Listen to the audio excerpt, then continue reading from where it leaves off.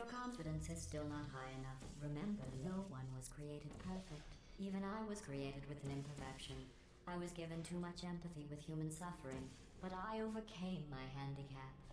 That's a true story.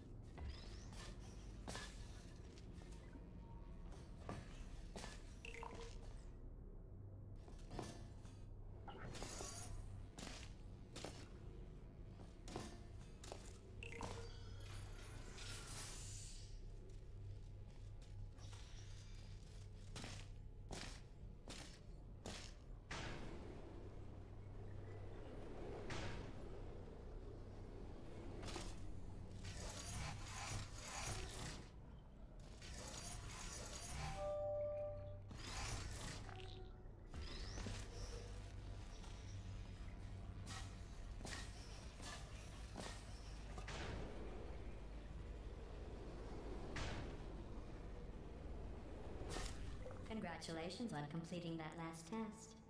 But I find something troubling without the looming consequence of death. Is this even science?